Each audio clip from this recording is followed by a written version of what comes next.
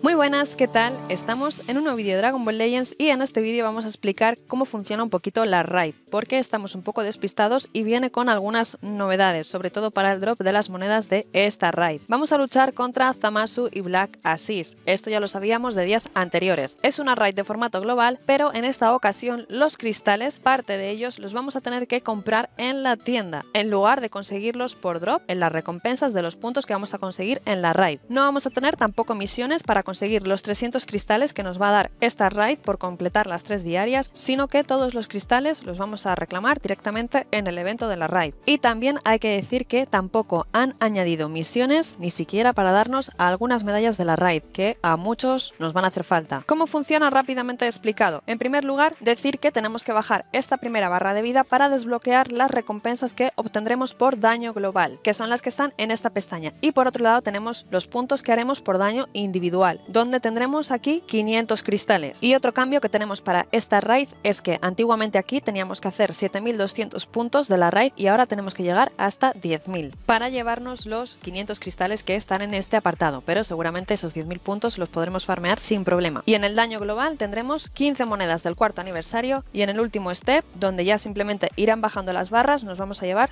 rare medals. Y esto lo considero como otro punto negativo porque antiguamente aquí también teníamos monedas de la Así que sumamos que no tenemos misiones con monedas de la raid y sumamos que tampoco tenemos ahora monedas de la raid en este daño global. Dos puntos negativos. Así que una vez que bajemos la primera barra de vida del boss, vamos a desbloquear esas recompensas globales y la vida será infinita. Las barras irán bajando, iremos reclamando esas recompensas globales y aparecerá una nueva barra. Y así hasta el día que finalice la raid, que será el miércoles que viene a las 8 de la mañana, hora del reinicio. ¿Qué personajes vamos a tener busteados para esta raid? Goku el 300 dominado que está en todos lados. También al nuevo Vegeta transformable, a las nuevas personajes Stream, Kale y Yurin y a los personajes Free to Play. Por supuesto también vamos a tener un tag que nos ayude en esta raid, Universe Survival Saga, pero Universe Survival Saga no nos va a dar ese drop extra de monedas. Este sería el equipo que yo tendría que utilizar porque tengo a Vegeta a 5 estrellas rojas y el bench estáis viendo que no es el más adecuado para él porque he metido aquí a los personajes Free to Play y a Yurin. Pero estos Free to Play y Yurin me van a ayudar con el drop extra de monedas. Vamos a ver las recompensas que vamos a tener para esta raid. La recompensa limitada, las tres diarias que tenemos que hacer, nos va a dar una moneda de aniversario. Es decir, conseguiremos tres por las tres recompensas limitadas cada día hasta que finalice la raid. Y en el drop vamos a tener la recompensa inicial, que son 10 cristales, la primera vez que completemos esta raid, las monedas de la raid, que aquí tendremos ese drop extra si llevamos esos personajes y en función también de sus estrellas, y como siempre los Eta Powers, las Platinum Coins y las gomas de borrar. Y sí, vamos a poner aquí también un punto negativo porque en este drop estamos viendo que no tenemos los Hoi Pois, así que los Hoi Pois solamente los vamos a conseguir en el cooperativo. Tercer punto negativo. Y en cuanto a los challenges, nos piden hacer un Dual Impact y completarlo en menos de 30 contadores, además de utilizar un personaje de Universe Survival Saga para completar todos los challenges de esta raid. ¿Cómo se consiguen los puntos de combate? Nos lo especifican aquí, por combo que realicemos, por hacer este Dual Impact, por tirar el Rising de manera conjunta y por romper el escudo del enemigo. Y como he dicho, 500 cristales nos los vamos a llevar por el daño que nosotros hagamos y los 800 restantes para completar los 1300 que nos da la raid del formato global los vamos a encontrar en esta ocasión en la tienda, lo cual no nos va a ayudar mucho para farmear los 3000 de coste que vamos a necesitar para canjear estos 600 de power del EF. 3000 monedas para la raid. El que tenga Goku 300 dominado a muchas estrellas le resultará mucho más fácil. 3000 de coste, hay que farmear esto mucho, 700 para 100 Z powers del EF y luego ya el coste que conocemos habitualmente para el resto de los Power, cuatro nuevas frases para PvP, que están muy bien. Yo esto lo farmeo siempre y lo compro siempre. Además, cuestan 30, las voy a comprar por supuesto. También tenemos ticket para este cuarto aniversario, solamente uno por 50 monedas, quizá un poco caro. También podemos conseguir Hoi Pois. Por un coste de 5 monedas, podemos canjear hasta 300. 300 Hoi Pois son bastantes. Seguramente íbamos a farmear más Hoi Pois con ese drop, pero tenemos aquí 300, que al final son 3 steps. Las Platinum Coins y las gomas de No sé si alguien va a poder canjear las 999 gomas de borrar, pero no está nada mal, la verdad. Supongo que compraré toda la primera parte si lo consigo, porque cuidado con el coste de los ítems. Y sí, voy a añadir aquí otro punto negativo. Los cristales en tienda para las personas que tengan más de 20.000 cristales no los pueden canjear. Esto es algo que ya estamos pidiendo hace mucho que lo cambien, y sabéis que yo lo pido en las encuestas siempre. Pero al margen de esto, me interesa también farmearme estas 999 gomas, a ver cómo lo hacemos. Afortunados aquellos que tengan a Goku Goku Instinto dominado a altas estrellas rojas. Muy afortunados. Y en la pestaña de otros vamos a tener simplemente el Zenith, así que solamente vamos a centrarnos en farmear esta pestaña. ¿Será posible farmear 999 gomas de borrar? Estoy sinceramente alucinando ahora mismo. Y por añadir un punto negativo más aquí, no tenemos la pestaña de las Souls. Yo compraba en la tienda de las Raid la Zenkai Souls, pero supongo que lo han quitado porque ya están habilitadas las bonus Zenkai's Battle. No lo sé si vendrán en las próximas Raid. Vamos a conocer ahora lo importante de esta Raid. ¿Cuántas estrellas vamos a necesitar para ese drop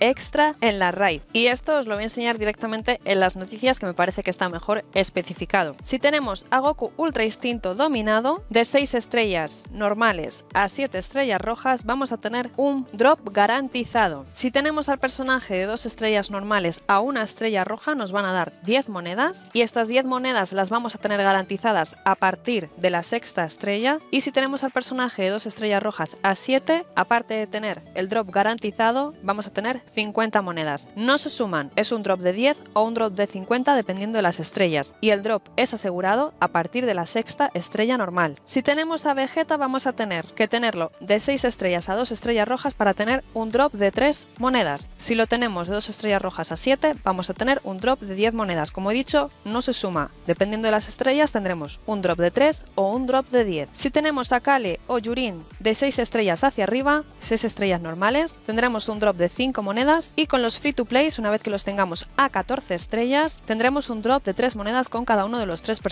Y es importante decir aquí que si nosotros estamos utilizando a Goku Ultra Instinto dominado y tenemos también a Vegeta a más de 6 estrellas, tenemos a Kale, a Yurin y además ponemos a los free to plays como bench, nos vamos a llevar las monedas de Ultra Instinto más la de estos personajes si los llevamos como bench. Eso hay que tenerlo en cuenta porque sí, el bench va a sumar para el drop extra de monedas, siempre que sean los personajes que en este caso van a tener ese drop de monedas. La tabla la tenéis especificada claramente aquí en las noticias, pero no hay más que esto. Y si no tenemos a Goku Ultra Instinto dominado a 6 estrellas, puede haber partidas en las que no nos den ninguna moneda. Eso hay que tenerlo en cuenta. ¿Qué más cosas tenemos que tener en cuenta para esta raid? Además de también llevar ese bench que nos va a dar las monedas extra. Solamente vamos a poder equipar un equipamiento de Bills que nos va a dar en este caso drop extra para la raid también. Aparte de todo el bench y del personaje que nosotros llevemos, si llevamos este equipamiento vamos a tener 3 monedas extra si hemos desbloqueado los 3 slots. Y repito, solamente podremos equipar un equipamiento de Bills así que no nos vamos a estar llevando 9 monedas. ¿Qué tenemos que hacer? Este equipamiento lo podemos farmear gratis con los Hoi Pois. Con los Hoi Pois que hemos conseguido en el cooperativo en estos días, simplemente venimos a este apartado y en el primer step nos van a dar directamente este equipamiento que lo tenemos aquí indicado y en el step 4 y en el step 7 nos van a dar la SAUL pertinente para desbloquear el segundo y el tercer slot de este equipamiento. Y una vez que hemos conseguido las SAULs para desbloquear los slots, simplemente tenemos que venir al apartado de los equipamientos y le vamos a dar a mejorar este equipamiento para desbloquear así el segundo y el tercer slot.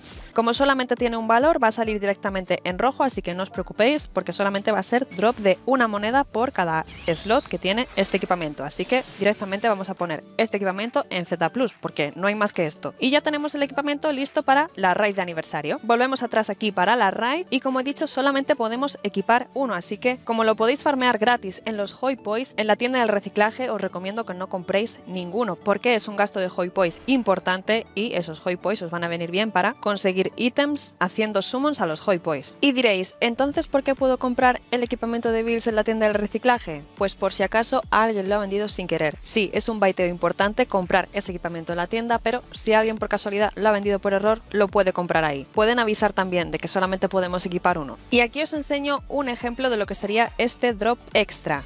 Como tengo los personajes Bench, además del equipamiento de Bills, en mi caso van a ser 27 monedas extra que me voy a llevar como drop. Es decir, que solamente habría conseguido 3 jugando esta raid si no tuviese ningún personaje busteado. Quien tenga Google 300 más estrellas, evidentemente va a sacar muchas más monedas para la raid, pero todo el bench suma, así que no os olvidéis de ponerlo. Y sí, mi opinión también la voy a dejar aquí. Es muy heavy el drop que tiene Ultra Instinto. 50 monedas me parecen una barbaridad, pero es lo que hay. Tocará quejarnos como hacemos siempre, para eso tenemos la encuesta habilitada. Y una vez explicado todo, solo me queda deciros que muchas gracias por haber visto este vídeo si habéis llegado hasta aquí. Espero que os haya servido la explicación porque ha habido muchos cambios en la raid Hoy no vamos a hacer un vídeo probando personajes porque tenemos a los tres personajes free to play, así que en el caso de que no tengáis a ninguno de los del banner tenéis a Goku, a Krilin o a Tensian de manera free to play para poder jugar esta raid. Toca farmear mucho esta raid, por supuesto. En la descripción podéis encontrar los enlaces para poder seguirme en Twitch, en Twitter y para uniros en Discord. Muchas gracias y hasta el siguiente vídeo. Hay que darle al farmeo. ¡Chao!